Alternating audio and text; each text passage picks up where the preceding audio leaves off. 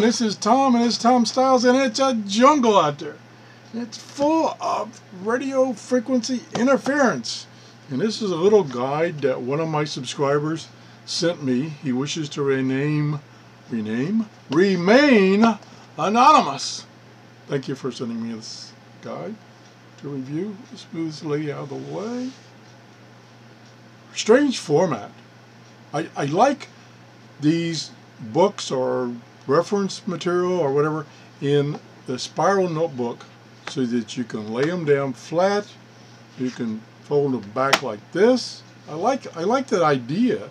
I showed you a guide a few weeks ago that was uh, kind of in the standard format shape, but it was smaller book shape. This is in like a notepad shape, and uh, it's a little cumbersome for me, and you'll you'll see why when I try to go through it. But anyway, the name of the book is Radio Frequency Interference RFI Pocket Guide by Kenneth Wyatt and Michael Gruber. They're both amateur radio operators. So um, let's go through this quickly, and I'll tell you uh, kind of what's inside, so you'll have some idea whether you want to get this book or not. It basically covers everything about radio, in, radio interference. Uh, what it is, where it comes from, how to track it down, and how to eliminate it. So I'm just going to go over it very quickly. And as you can see, I'm struggling with turning the pages. It's got um, about 80 pages, and these are 3 by 5 inches. So they um, you know, about the size of a pin. Um, so you could get about four of these on a standard size book, these pages, and uh, front and back.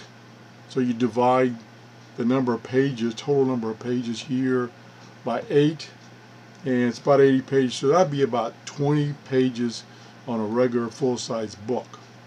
So that kind of gives you an idea of the volume of material.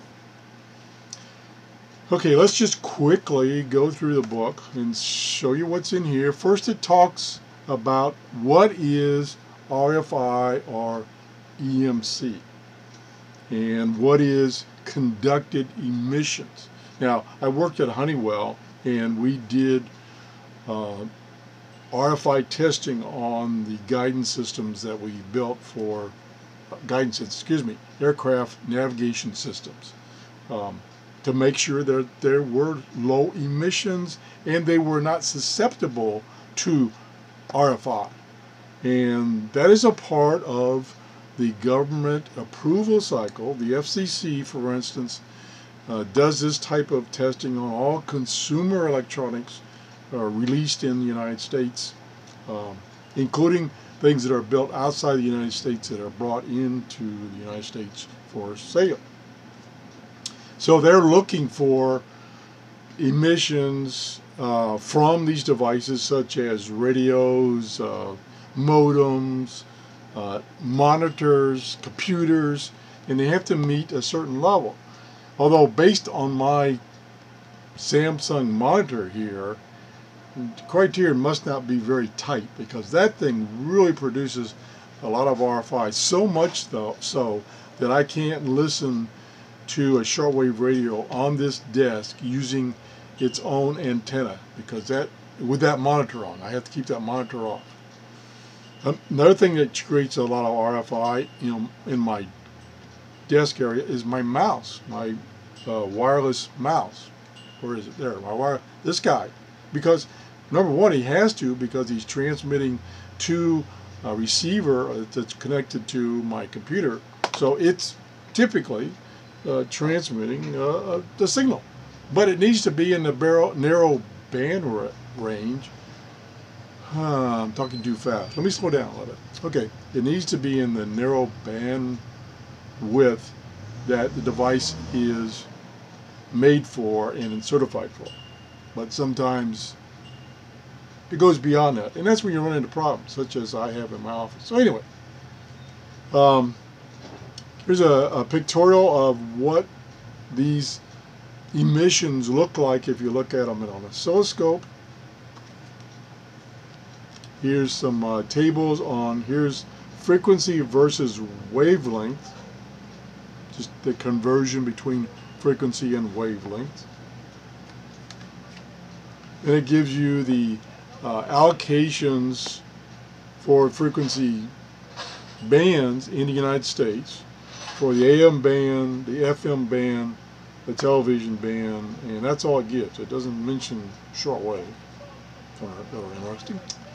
So it's kind of a limited spectrum of information there. And then it talks about the types of interference. Here's a, uh, an oscilloscope, oscilloscope picture uh, of some emissions. You know, these little spikes here, those shouldn't be there. And what else? Talks about uh, cable television, leaking cable in your uh, cable television setup at home. Uh, it's another source of emissions. Your routers and uh, your modem, they put out uh, emissions. Uh, your router, of course, is has a wi wireless uh, port to it so that your laptops, for instance, can communicate with that modem. And that's uh, a form of emissions. Um, and it has to be in a narrow band, but unfortunately sometimes it gets outside that band and gets into the shortwave band and you hear it on your shortwave radio. Okay, other sources of uh, RFI, um, your faulty light switches and your AC sockets, and where to locate these emissions. Where, where, they, where can they come from? I just mentioned a few myself already. Um, and then how you, what do you use to track down these emissions? And then later on it talks about how you can get rid of those emissions. So here's some equipment that you can use to track down the emissions.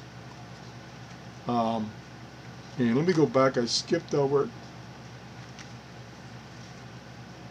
Uh, back here, no, like I say, I don't particularly like this format have trouble turning the pages.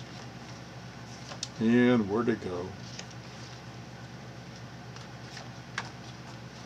Okay, anywhere on one anyway, on one of these darn pages, it talks about using a, just a plain AM radio to uh, track down emissions. And then here's here's some ideas of how to uh, squelch these emissions. Here's where you use a uh, toroid core and take your cables and wrap around it. That will reduce emissions from these cables. Here's an RFI filter that you put on your AC line before it goes to the device. And then it talks about uh, actual reporting a serious RFI problem in your area, in your neighborhood. For instance, it could be the power lines, could be the cable TV lines, it could be uh, a big power transformer in your backyard. I've got one of those. Oh, here it is. I just got ahead of myself. So here's a AM radio. This is a, a Grundig Mini 400 that you can use to track down AM. And you tune those and then walk around your house. And as you get closer to the source that's in your house, it, you would hear on the AM signal, you'd hear this big noise.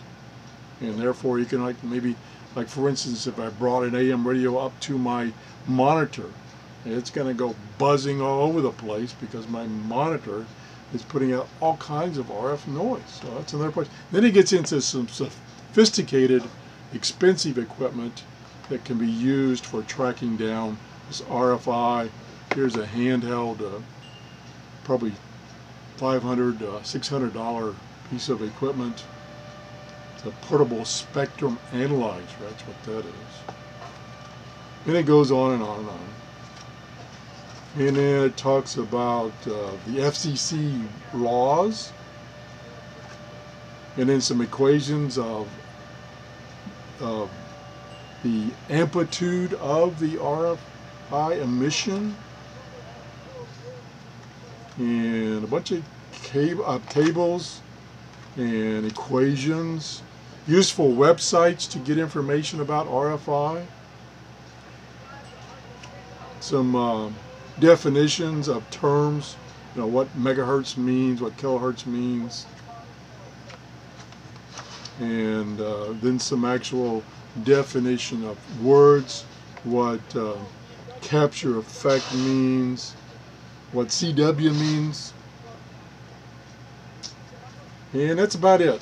So that's the guide. Um, usually I say these guides and things like these ebooks and stuff like that have the same information that you can get off the internet, but they're all in one concise package. This one, this particular one, is a little too pricey.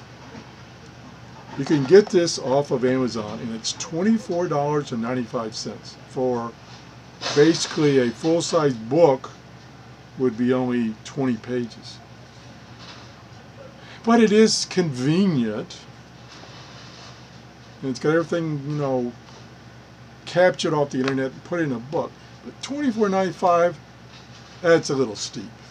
I would, this is just me now, this is my personal opinion. I would say the information in this pocket book could have been put in an e-book. Now, it wouldn't be as convenient because you, this you can carry around and put in your pocket and carry around. It wouldn't be as convenient as an e-book, but for an e-book, I would say it would only sell for $2.99, maybe $5.99, but that'd be it. Not $24.95. That to me, that's too much money for what's in this pocket guide. That's just way too much money. So anyway, that's my opinion, and I'll, ha I'll have to live with it. Thanks for watching. If you enjoyed this show, please give me a thumbs up. Bye-bye.